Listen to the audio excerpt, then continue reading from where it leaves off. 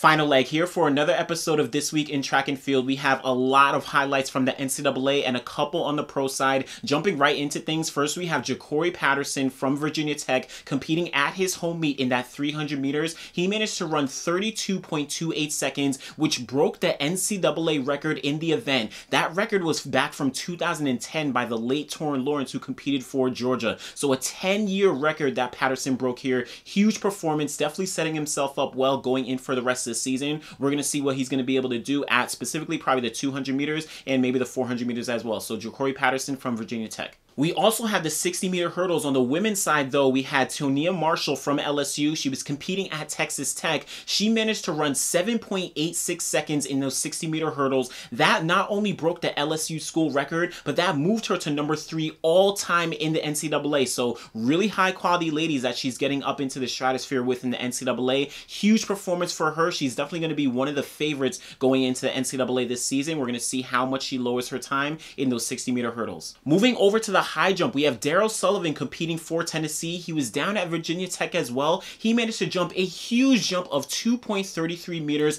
massive personal best for him, and that moves him to number four all time in the NCAA. Again, this is only the second week in January, so he's definitely setting himself up well for the rest of the NCAA season, so look out for him. Also notable in that high jump, we have Ellen Ekholm competing for Kentucky, the senior there. She managed to jump 1.87 meters down at Texas A&M, so really strong performance. NCAA leading high jump for her. Heading back on the track, we have Raheem Chambers, a senior from Miami. He was competing in that 60 meter dash at Vanderbilt and ran an NCAA leading time of 6.57 seconds. So huge performance for him. Joined though by Cravont Charleston. He's a senior from North Carolina State and he was competing at South Carolina's meet. He managed to run 6.59 seconds, the number two time in the NCAA this season. So we have Chambers and Charleston going 1-2 in the NCAA for the 60 meters in this weekend. Heading back to the field, but this time in the pole vault, we have KC Lightfoot competing for Baylor. He was at the Larry Wieczorek Invitational, and he managed to jump an NCAA leading mark of 5.70 meters.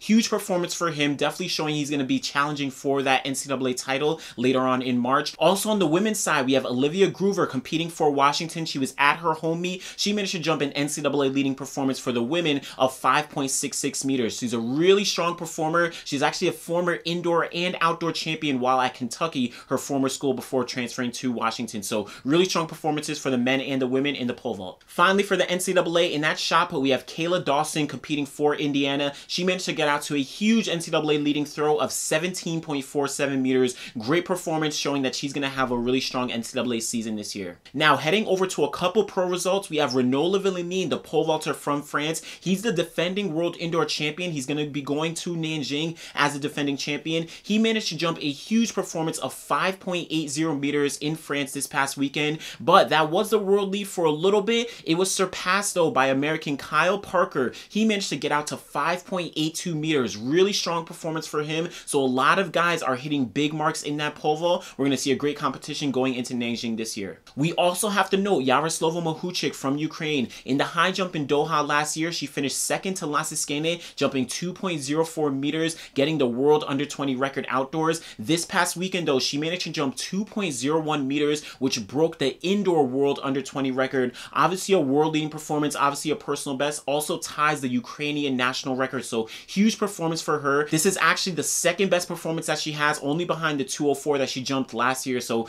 definitely showing she's going to be going for a shot at the title at the Nanjing World Indoor Championships. Finally, we have to note Briana Williams from Jamaica. She noted this week that she is going to be going pro. She signed a big deal with Nike. I think it's all expected. We know that she competed in high school in the United States, but she's going to be foregoing college. She did get third at the Jamaican National Championships last year, so already showing that huge promise and that ability to compete with some of the best ladies in the world. So definitely keep a lookout for Briana Williams from Jamaica.